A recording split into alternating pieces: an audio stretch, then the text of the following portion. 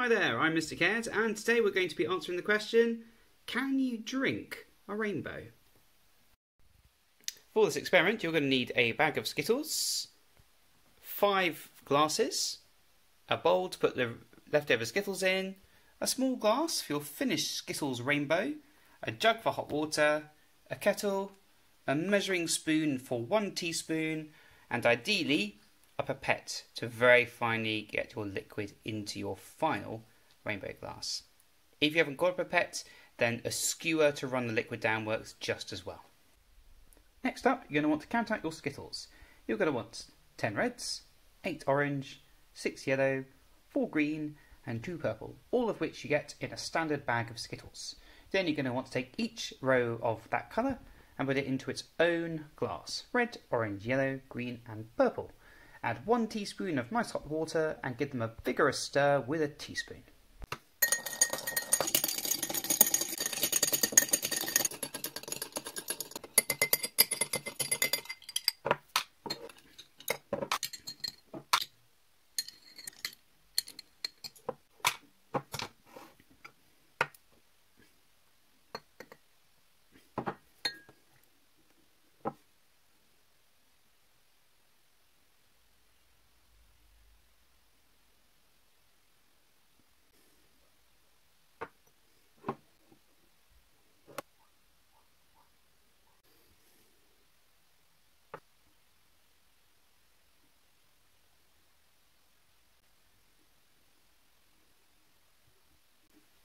There you have it.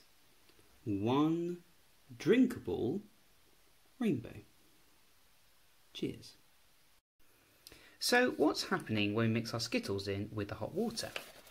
When we begin to mix the Skittles in with the hot water, an interesting thing happens. Some of the mass of the Skittles, some of the Skittle itself, begins to dissolve, mix in with the water, and become one. It becomes a solution, a mixture of water and a solute, in this case, the mass from the Skittles.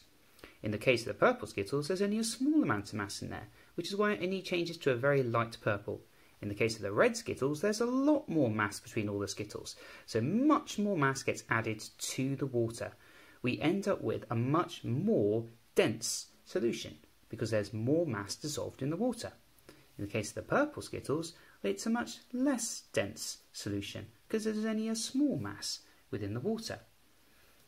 So once we take out the Skittles, what we're left with is a denser red solution and a less dense purple solution. The volume of the water hasn't changed, but the density has become greater. And the denser the solution, the heavier it is because there is more mass dissolved in it. The less dense the solution, the lighter it is. So, in theory, it should float higher than a denser solution.